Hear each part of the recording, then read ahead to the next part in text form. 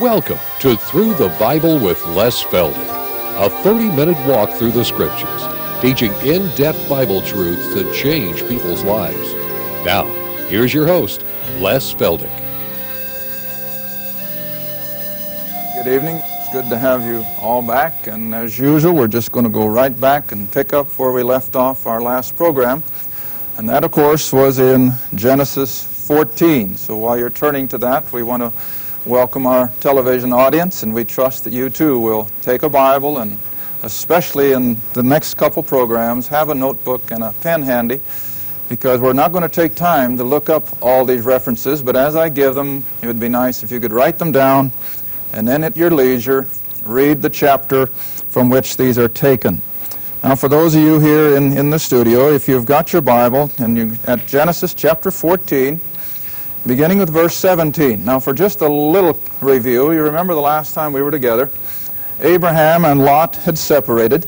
Lot had pitched his tent down toward Sodom, and Abraham remains up in the central part of what we now know as Israel, in the highlands. And after Lot had gotten situated in Sodom, some kings from other tribes to the east, as was so prevalent in the ancients, they would just come in and overrun uh, another group of people and take everyone captive with them.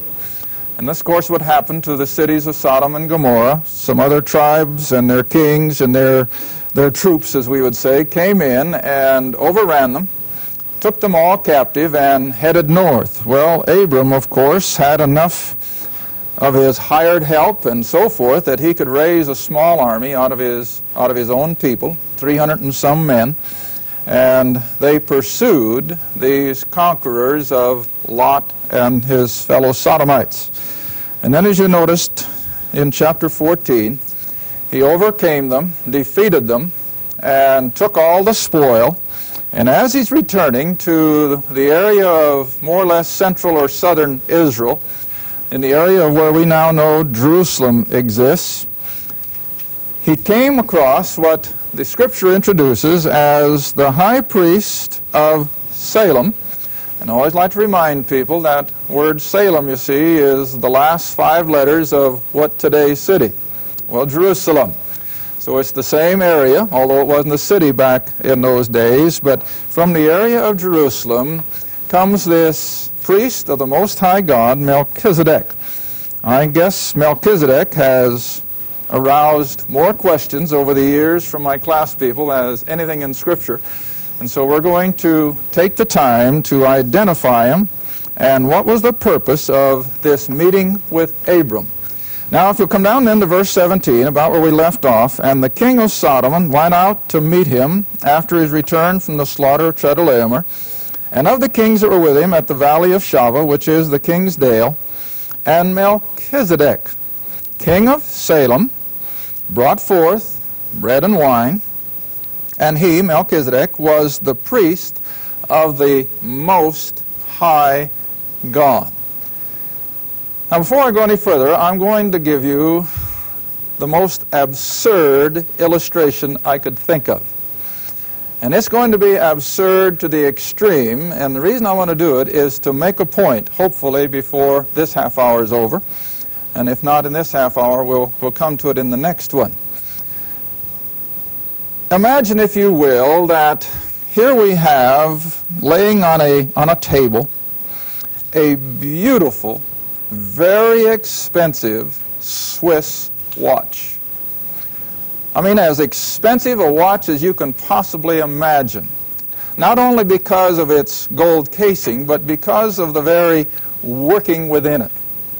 I want you to picture a watch that is so complicated and is so meticulous in its makeup that even the average watchmaker wouldn't even attempt to fiddle with it. Over against that, I want you to picture just an old $5 Big Ben alarm clock. I don't know even whether they make them anymore, but I think you're all old enough to remember them. That old big round alarm clock. You wind it, and it sounds like a piece of machinery as it's ticking off the minutes. Set them side by side on the table. And I want you to give a vivid picture of this. Here's this tremendously expensive exquisite, meticulously made Swiss watch over against this old cheap $5 alarm clock. Now, if you can take your imagination one step further, let's assume that some great famous jeweler who is known for his trade, and he comes along and with all the arrogance at his disposal, and with all the pomp and circumstance, he picks up the watch, he lays it down, and he says, well, there's not a nickel's worth of difference between this watch and this one. And you say, that's absurd.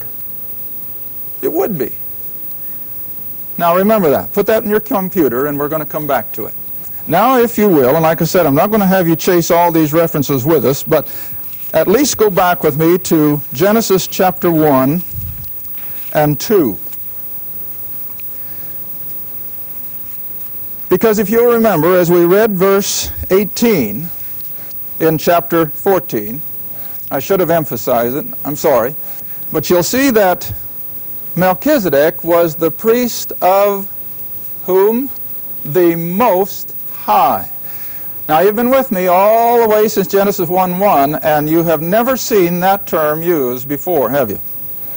Well, now, always remember that the Bible is a progressive revelation. Now, I want you to go back to Genesis chapter 1, and all the way through chapter 1, we merely have the three lettered word God and God, G-O-D, did this, and God said that. And that's the only term of deity we find through the whole chapter.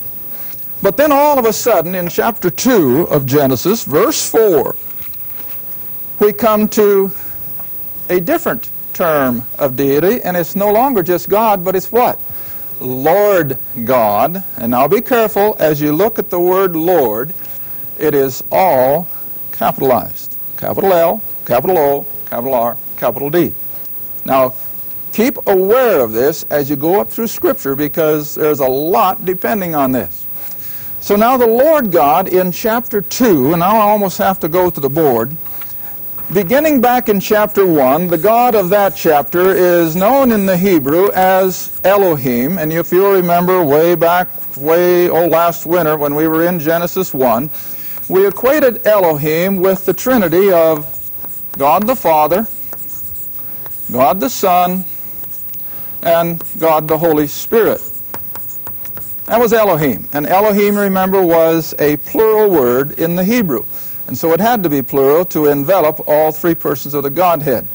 But now as we move into chapter 2, the term is no longer just God, but now it is Lord God, all capitalized, and it would still be Elohim, or as chapter 1 would call him, God. Now, who is the Lord God? Well, we've equated it before as He is Jehovah. And Jehovah is God the Son. Are you with me?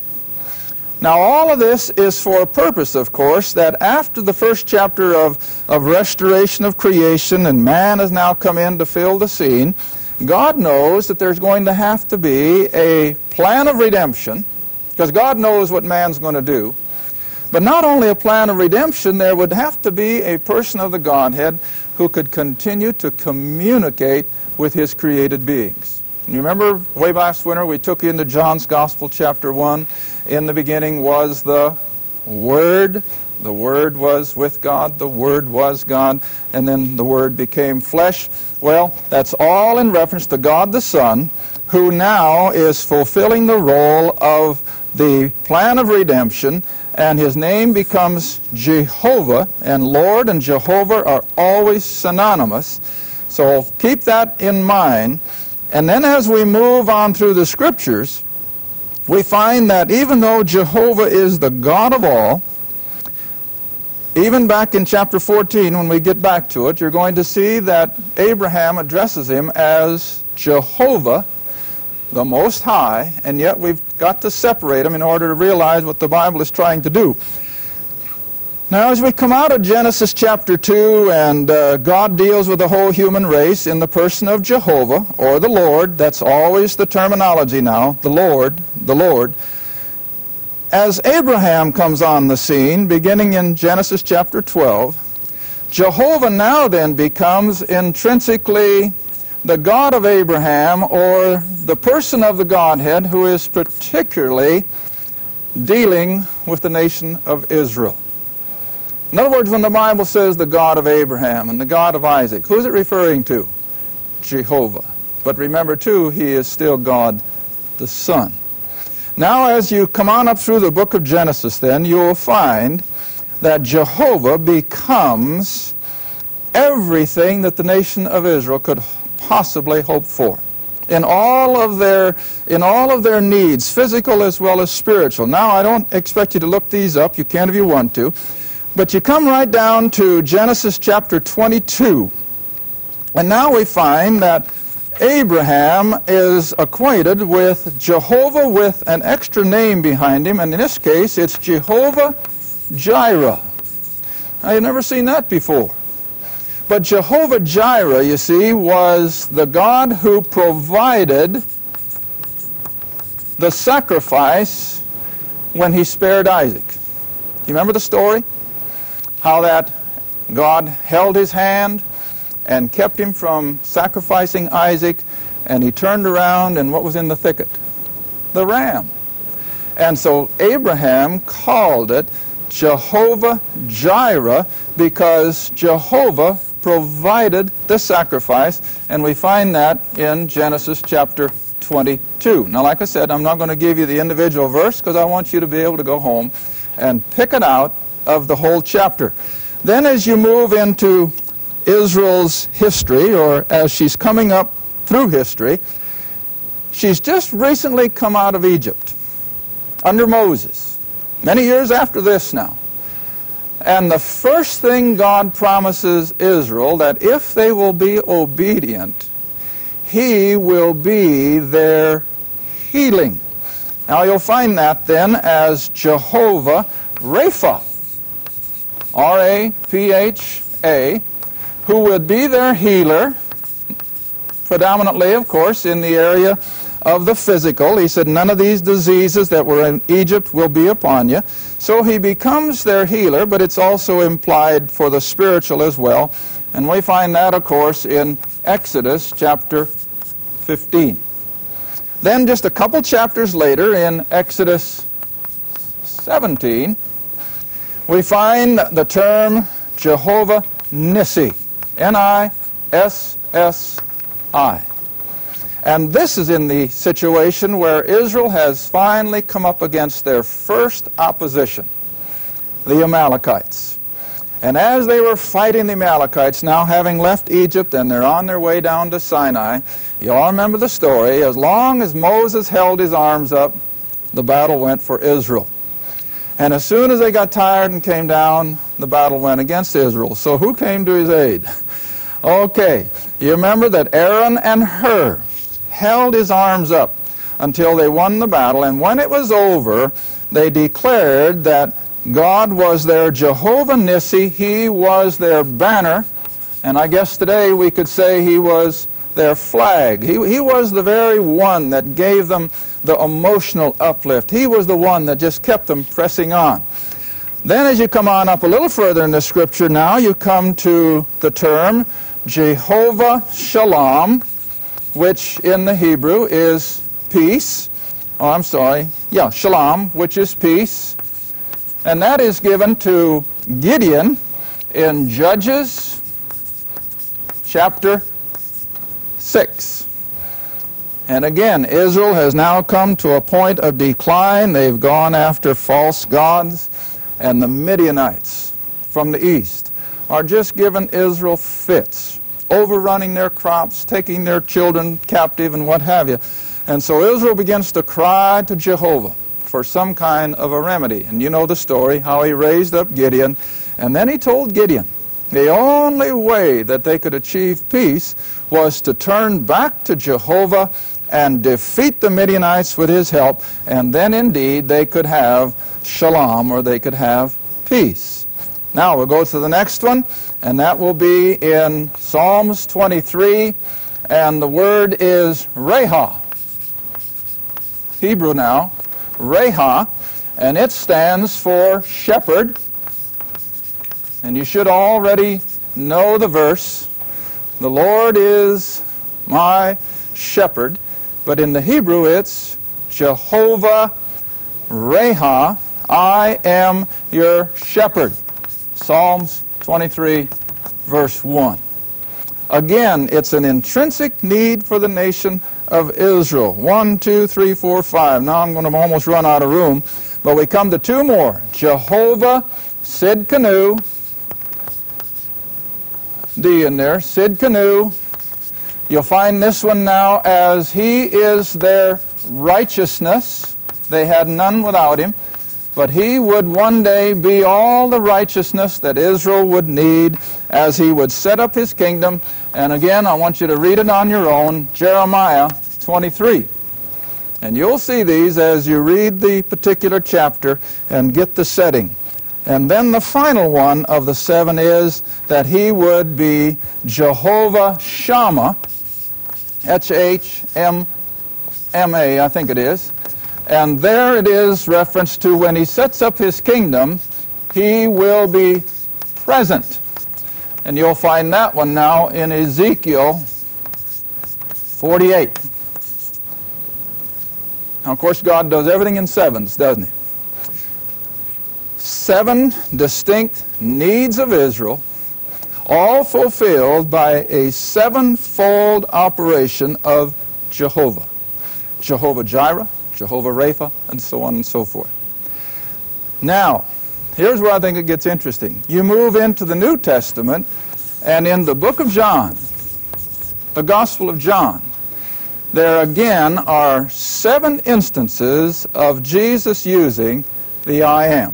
Now remember, Jehovah stands for the I am. I am your provider, I am your healing, I am your banner, and so on and so forth. Now Jesus uses the same I am seven times.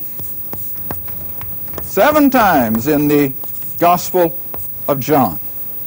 Now, I'm not going to tell you where they are, but I'll give you a little hint.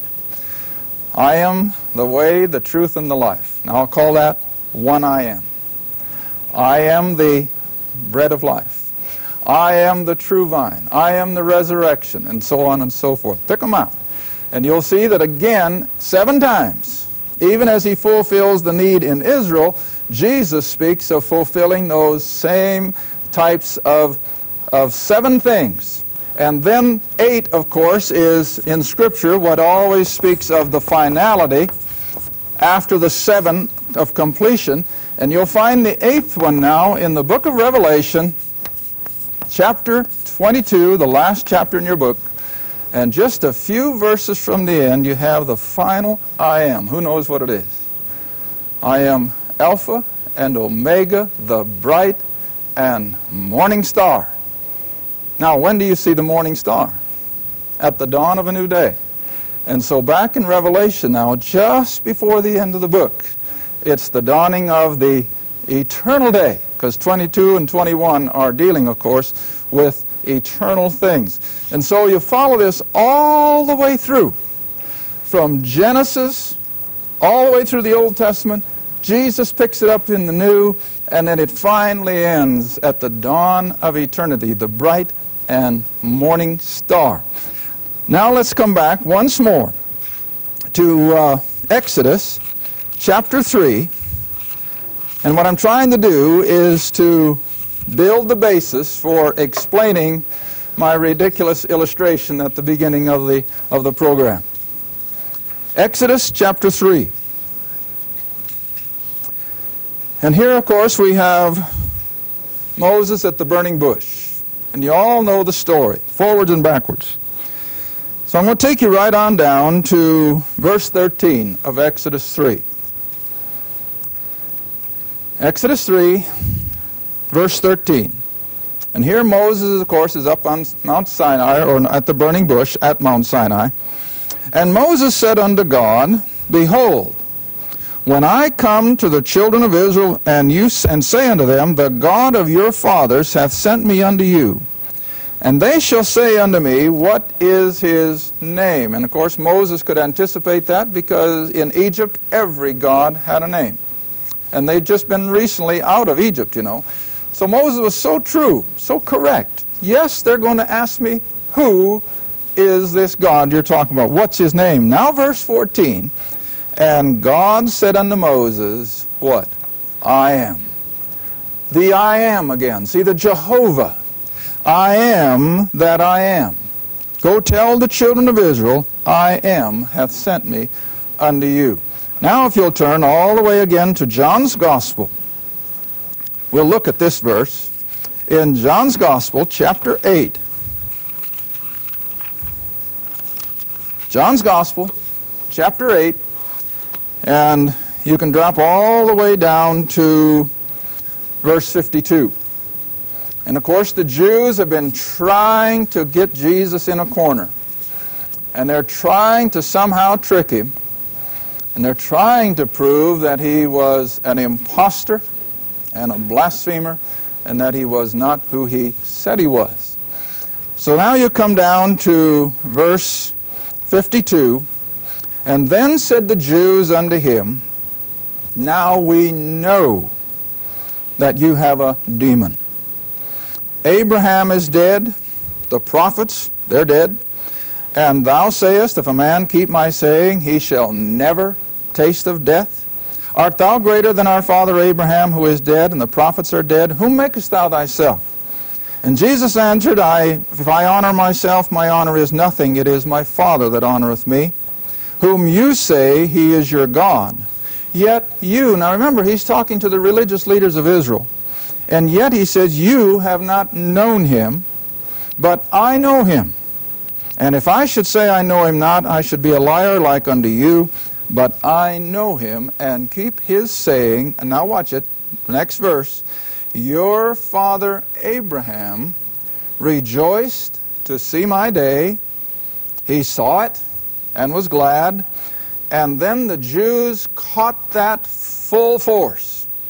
They realized that he was claiming to be the very God of Abraham, the I am. And it infuriated them. All right, then verse 57.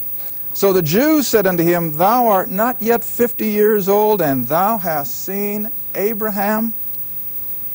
And Jesus said unto them, Verily, verily, I say unto you, before Abraham was what? I am. Now, who's he claiming? He's Jehovah. He's the same I am that has been existent from time immemorial. All right, now, let's go back quickly because I, I, I, want to make my point on my ridiculous illustration before we have to stop tonight. Go back again to Genesis 14, where now we have yet another term of deity, only now instead of Lord God or instead of Elohim, it's the Most High. You haven't seen this before. But this Melchizedek is the priest of the Most High, and he's the king of Salem. Now, remember, Israel is not on the scene yet. She's been promised in the Abraham, but there is no Israel. So who are the people dwelling in the area of Salem? Well, they'd be non-Jews or Gentile. So this term, Most High God, is always associated in Scripture with the Gentile as over against Israel. Now let me make a point. Turn with me now to Deuteronomy. Judges, uh, I mean uh, Genesis, Exodus, Leviticus, Deuteronomy, chapter 32, verse 8.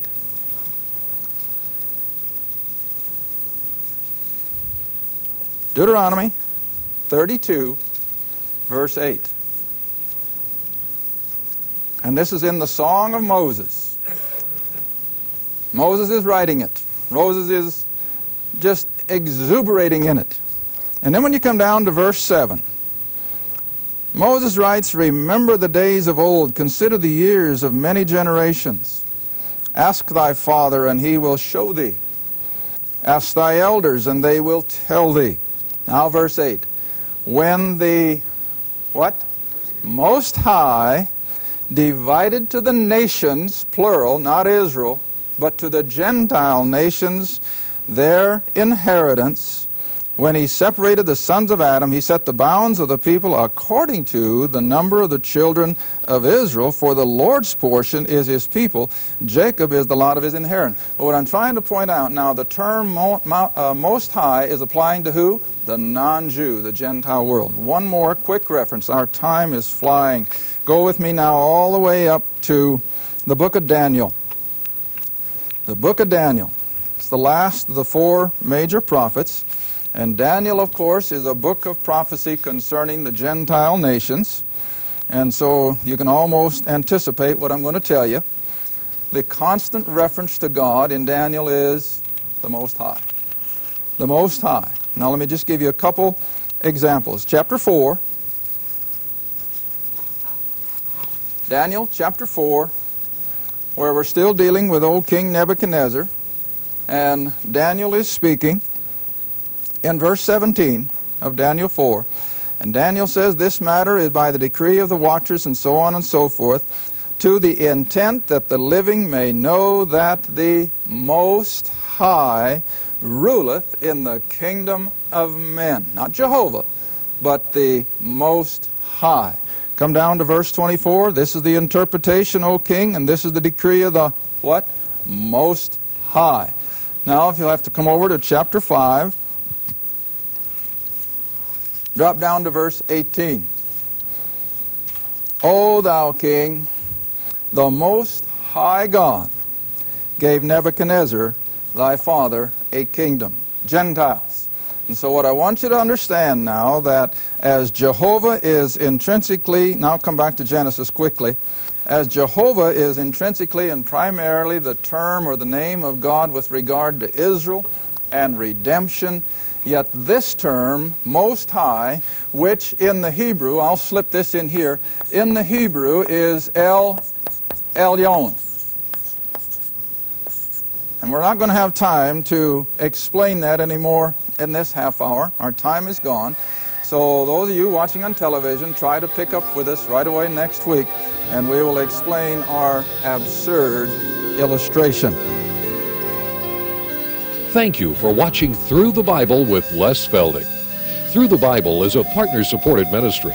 If this program has been a help to your study of the Scriptures and you'd like to see others enjoy the teaching, your support would be greatly appreciated. Write to us at Les Feldick Ministries, Route 1, Box 760, Kinta, Oklahoma 74552, or call 1 800 369 7856. Remember, all programs are available in printed form, audio cassette, and videotape. Be sure to tune in next time to Through the Bible with Les Feldick.